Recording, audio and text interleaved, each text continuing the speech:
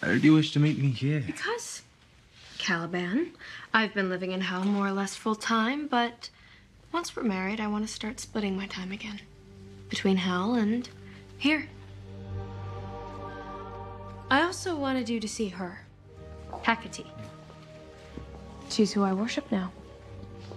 The female ideal, the three in one, goddess of witches, our dark mother. But you're Lucifer's daughter, the queen of hell. Yes, but I'm also a witch, and Hecate's stronger than my father.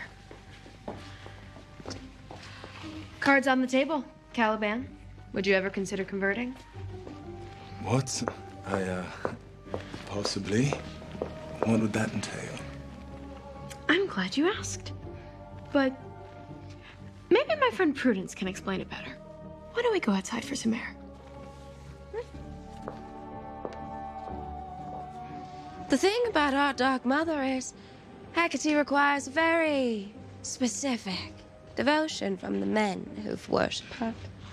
Which is what? Well, put plainly, the men in the Order of Hecate must be gelded. You're joking. Not bit. In fact, I am the woman Hecate entrusted with the sacred supplication of our male cohorts. A role I gladly embrace. Ah. Your sacrifice will be complete in a matter of seconds. We'll heat the blade, of course. My lady, there is little I wouldn't give you. But I cannot relinquish my manhood.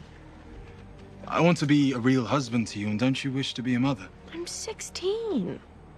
Besides, we could adopt. Sabrina, I want to be a real father.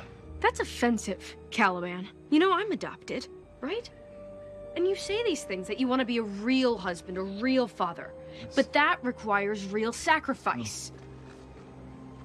And if you're not willing to even consider what I'm asking, then Maybe this is a bad idea. Yeah, perhaps it is.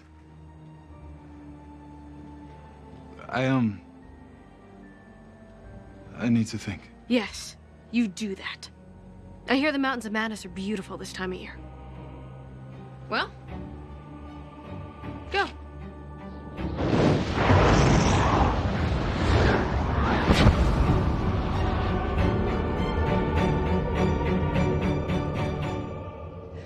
Nicholas.